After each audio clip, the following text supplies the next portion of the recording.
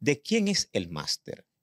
Pues estos jóvenes, eh, vamos a decir, estos artistas incipientes que no conocen bien el negocio, cuando hacen un contrato de, un contrato de grabación de artista, que es lo que hacen, o de eh, representación, de manejo, porque realmente ellos no tienen un concepto acabado de qué es lo que están haciendo, no definen quién es el propietario de la grabación maestra. Que el disquero quien funge como disquero, que realmente es un empresario, un, un inversionista que pagó para eh, grabar la música, que dio el dinero para, para, para hacer la promoción del disco, que firmó al artista, o sea, el que firmó el contrato con el artista en su momento. La comunicación pública, que es uno de los derechos que más, eh, se, que más el artista persigue, porque es el que es, es, el que le garantiza su futuro, de qué va a vivir él en, mañana, tanto los autores, de que las canciones se siguen, siguen sonando dentro de 20 años. Entonces, ¿quién, ¿a quién hay que pagarle ese dinero? A las que suelen tener los artistas independientes. El artista independiente va discoteca por discoteca, llevándole el tema al, al DJ, le lleva el tema, hace, hace gira de medio, eh, paga para que lo pongan en las listas de reproducciones y hace toda clase de trabajo de promoción. El artista deja de sonar entonces en las discotecas y por consiguiente ya entonces sus reproducciones en la radio van bajando. Porque la disquera te dice, sí, yo te voy a pautar en la radio, pero tampoco va donde el DJ de la radio a llevar el cariñito. Cuando usted escucha hablar de procurador, de inmediato en su top of mind usted lo relaciona con el tema de las distintas operaciones que ha llevado a cabo el Ministerio Público.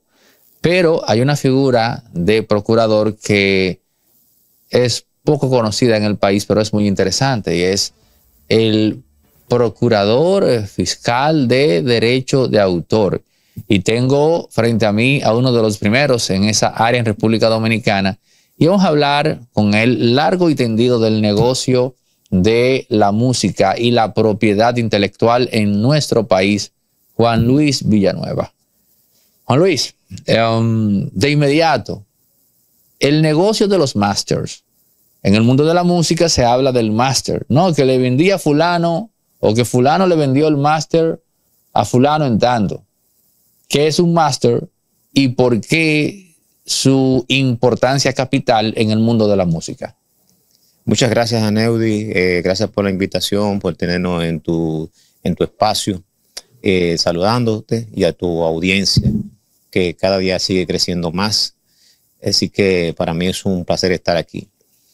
Pues bien, eh, nosotros que hemos visto el negocio de la música y del arte evolucionar en este contexto digital de una manera acelerada eh, y precisamente en el contexto, en el en cuanto al concepto de los masters o las grabaciones maestras, que es como se le diría en castellano, eh, ha venido sucediendo lo siguiente. Sucede que eh, en la era de las disqueras no había discusión alguna sobre dónde residía o dónde quedaba esa grabación maestra, porque el disquero compraba o pagaba a todos los participantes en el disco, artistas, intérpretes y a los escritores que son los autores en sí. Pues ya con este formato independiente, en el que cada artista pues alquila una hora de estudio, graba sus interpretaciones eh, con su productor musical, pues ¿de quién es el máster?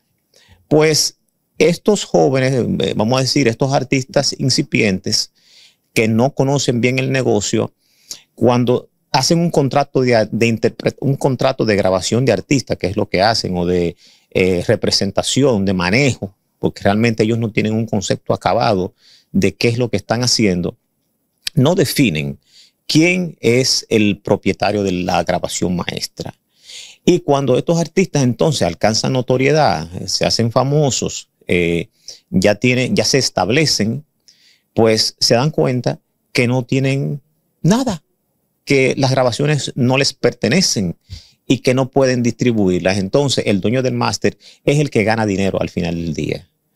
Fíjate que el artista puede ganar por sus interpretaciones, pero las interpretaciones las presentaciones en vivo son limitadas. ¿Qué es lo que tú quieres? Asegurar tu futuro.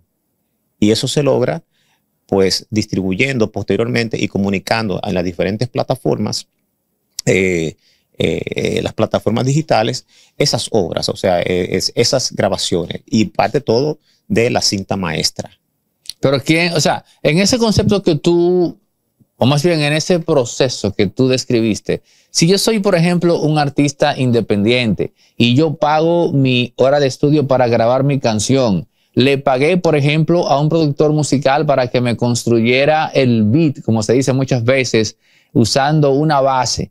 Pero yo le llevé a ese productor musical que hizo esa base una grabación en análogo de una guitarra, una guitarra como instrumento de verdad para que se la monte junto con una secuencia de piano que grabé con Juancito Pérez, que lo contraté. Mira, montame eso, me gustó la base que hiciste, montame eso. No. Y luego yo agarro a un segundo que es quien finalmente va a recibir todo eso y va a hacer la mezcla final. Entonces, entre pago de estudio, o sea, yo soy el artista, entre pago de estudio, entre la contratación del guitarrista y el pianista, eh, y lo que le pagué al, al que ecualizó y, el, y al otro que hizo el máster final, y me entregan eso. O sea, ahí no hay ninguna disquera. Entonces, todos los crudos los tengo yo. Si, por ejemplo, esa canción se pega y qué sé yo, una disquera me ofrece comprar los derechos, lo que en este caso equivale a tener todos esos masters, o sea, el dueño era yo. O fui yo todo el tiempo hasta que lo vendí. Vamos a ver. En principio, parecería ser así, pero ¿qué sucede? Que detrás de cada producción musical hay una inversión. Entonces, eh, el, artista tiene un llamado inversionista en el mercado dominicano, así le dicen, el que puso el dinero. Entonces, el que pone el dinero es el que se adueña de esas grabaciones maestras. Pero no solamente de las grabaciones maestras, sino también que establecen unos contratos que podríamos llamarle leoninos, en el, sentido de que el artista tiene que eh, pagarle a él o eh, abonarle un porcentaje a veces elevado de lo que es el concepto de presentaciones artísticas o el booking. Y en adición a eso, o sea, booking, los derechos eh, de, de, publishing, que son los derechos editoriales, que están más luego la grabación del disco. Entonces, ya tú puedes ver ahí que el, eh, lo, que se, lo que se genera de la inseguridad detrás del negocio artístico, del negocio musical para el artista nuevo, es que él ve comprometido la ganancia del booking o sus presentaciones, las ganancias que están detrás del publishing, que son el derecho de poder, eh, de poder grabar nuevamente el tema, distribuir las letras de la canción, es decir, el derecho de autor propiamente, y ya luego la grabación, que es lo que llamamos la cinta maestra o los derechos mecánicos, como se le conocen en la doctrina. O sea, la grabación o cinta maestra no es sinónimo de máster. Sí, es el máster, es, es, el de, son los derechos de cuando ya, la, cuando ya la obra está grabada. Entonces, ¿qué sucede? Que el inversionista se adueña de todo. Pero se adueña de eso porque me parece que es el máster el que se puede alterar para hacer subsecuentes versiones de la canción en cuestión que también serán capitalizadas. O a su vez, cuando se acerca un segundo o un tercero que quiera hacer como un remake, es preferible hacer ese, ese remix o ese remake adoptando el master. Por ejemplo, lo que hizo Dua Lipa con las dos canciones de, Elton John, My, Sacrifice y Rocket Man, que agarró fragmentos de ambas canciones y construyó una sola canción, más el coro que le pusieron ellos, le quedó fantástico y fue un éxito inmediato. Mira, el derecho sobre la grabación maestra, principalmente lo que te permite es distribuir las copias, que es donde está el dinero. Eh, entonces, tú tienes dos escenarios que son los que te garantizan la estabilidad económica o, el escenario de qué va a ser de la música mañana, porque el escenario de hoy es ir a la tarima a tocar pero el de mañana, cuando tú no estés en tarima, ¿qué tú haces? Distribuyes tu música. Entonces, ¿cómo se distribuye? A través de las plataformas digitales. El que tiene los derechos mecánicos, los derechos de, de la grabación, es el que puede distribuir la música. Entonces, el artista dice, eh, bueno, yo ando en el momento, la gente lo ve con una vida lujosa, con la vida despampanante que suelen exhibir los artistas, y luego entonces tú te lo encuentras que el tipo está totalmente quebrado, no tiene dinero, no tiene nada. Entonces, ¿qué pasó con él? ¿Por qué él, después de haber tenido tanta notoriedad, al día de hoy, su vida económicamente es un desastre? Agarra cuatro hace millonario, 25 millones, puedes ganar diario, tres numeritos, es el quemadito, el anotadón, puede hacerte rico. Se agarró dos. Y se agarró tres. 50 mil, Y si yo agarro los cuatro. 25 millones, ¡Ay, sí! Y lo quiere más fácil de ahí. porque él agarra cuatro, Sí. el anotadón, Dominando tres numeritos. hace el quemadito mayor. Bien. De los tedón. y todo se debe a que el disquero o quien funge como disquero, que realmente es un empresario, un, inversionista que pagó para eh, grabar la música, que dio el dinero para, para, para hacer la promoción del disco, que firmó al artista, o sea, el que firmó el contrato con el artista en su momento.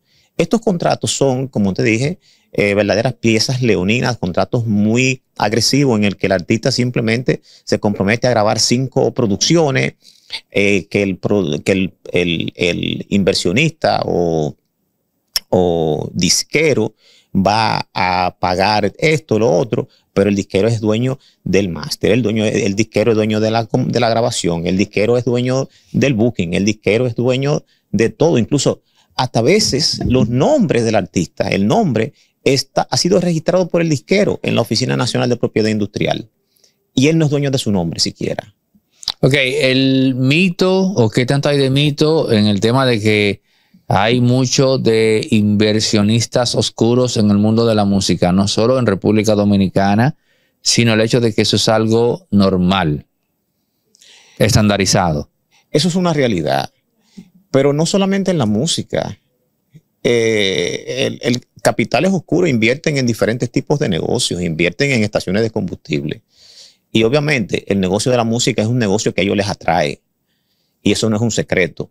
Eh, claro, no, no, no, no todo está invadido, no todos los artistas eh, tienen contrato o reciben dinero de, del mundo de, de la, de- del mundo de la delincuencia.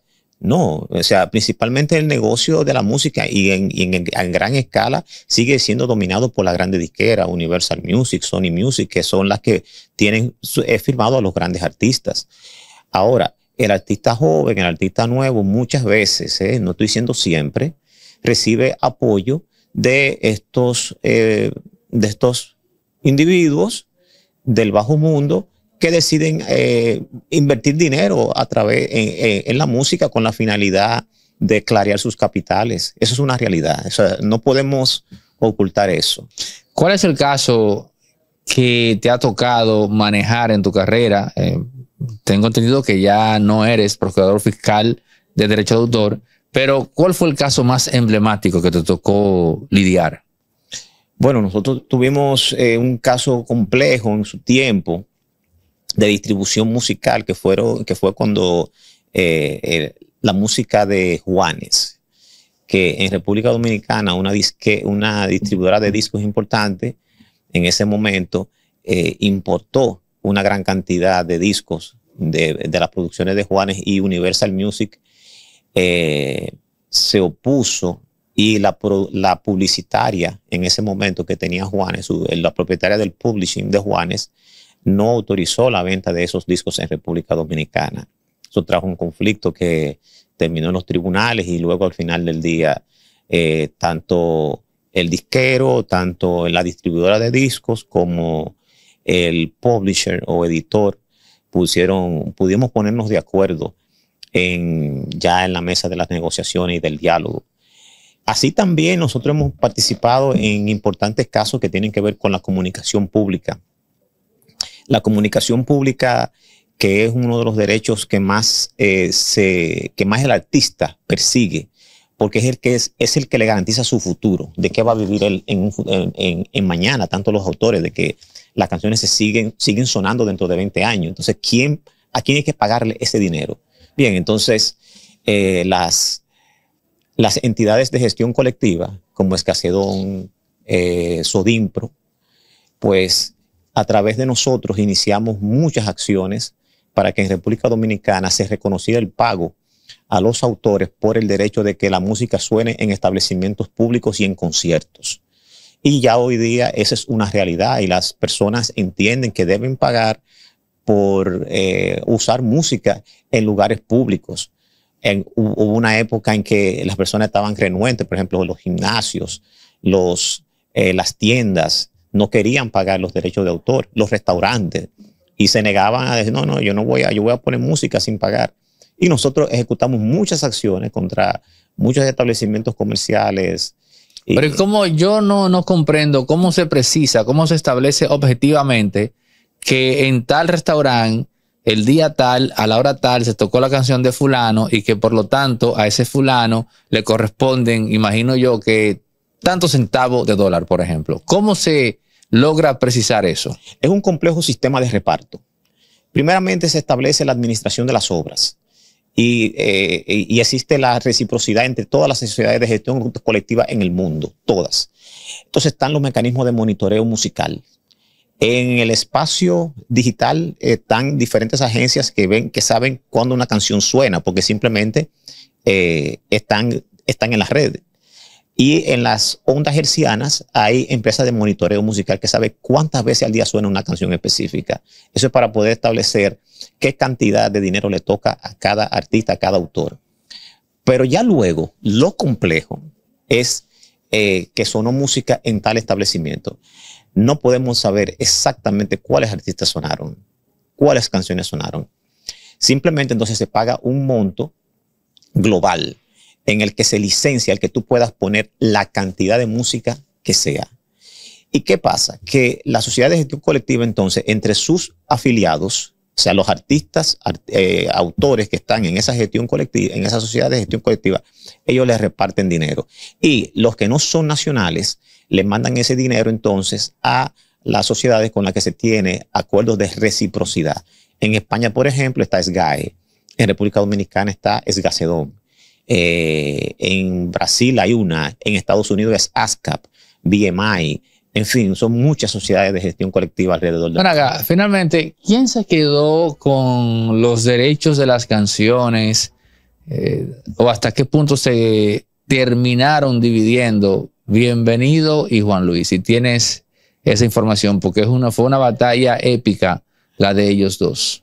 Bien, el, hasta donde tengo entendido, el contrato de, disquero que tenía Juan Luis Guerra con Karen, eh, con Karen eh, Records, Karen Records eh, se disolvió judicialmente. Y Juan Luis Guerra entonces, a partir de ahí, pudo suscribir un acuerdo musical con la disquera que tiene al día de hoy, que es Sony Universal. Y las, las, las grabaciones que fueron de Karen en su momento, pues Karen tiene los másteres de esas grabaciones y Karen los sigue explotando y vendiendo esas obras, porque Karen tiene esos derechos, se grabaron bajo su sello disquero. Ahora Juan Luis Guerra tiene la propiedad ¿verdad? sobre su obra musical y él la puede tocar e interpretar cuantas veces él quiera y donde quiera. Y Karen no puede oponerse a que él siga cantando aquellos temas que él logró grabar bajo el sello de Karen Records. Ahora, Karen sigue haciendo discos y puede seguir eh, eh, eh, vendiéndolos, porque son discos que ellos fueron los que hicieron la inversión en que se grabaran. Pero ya fíjate cómo, a partir de que Juan Luis Guerra sale del sello de Karen, sus, grabaciones no son ya distribuidas por República Dominicana en Karen, en Karen Records. Fíjate que ya Karen Records te puede vender los discos de, soplando, eh, de aquellas producciones que fueron con las que Juan Luis Guerra y 440 iniciaron. Pero, o sea, Karen debe pagarle a Juan Luis hoy día por los ejercicios eh, de venta o lo que sea que haga con esos masters. O sea, debe pagarle una parte. Mira, eh, depende de qué diga el contrato. yo supongo que esos contratos antiguos no, no, eran, no eran tan generosos. En esa época los artistas solían eh, firmar un contrato en el que había un pago único, en el que tú, me, eh, tú, me, tú tienes el deber de hacerme cinco discos y yo te voy a dar tanto. ¿Entiendes? Pero ya hoy día los contratos que firman los artistas de ese nivel son más específicos y definen un marco de eh, bonificación por ventas, eh, de auditoría, de que el artista pueda visualizar eh, con, con- con sus auditores cuántos discos se han vendido.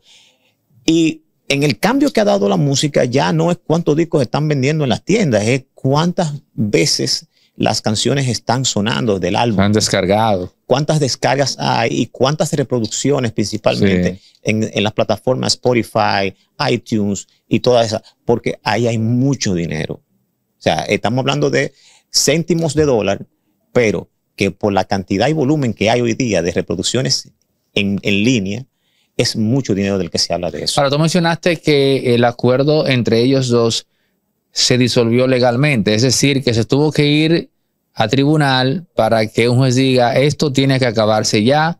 Fue- Juan Luis no tiene más compromisos con Karen Records. Ahora bien, Karen Records puede seguir usando los masters y Juan Luis puede seguir tocando las canciones que están contenidas en esos masters. Punto.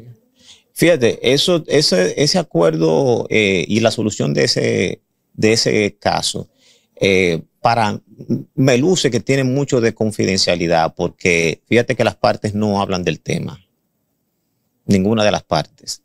Eh, y simplemente Juan Luis Guerra dio el salto a la gran disquera con la que él está hoy día, a una, con una multinacional. Usualmente se suele pagar un, un release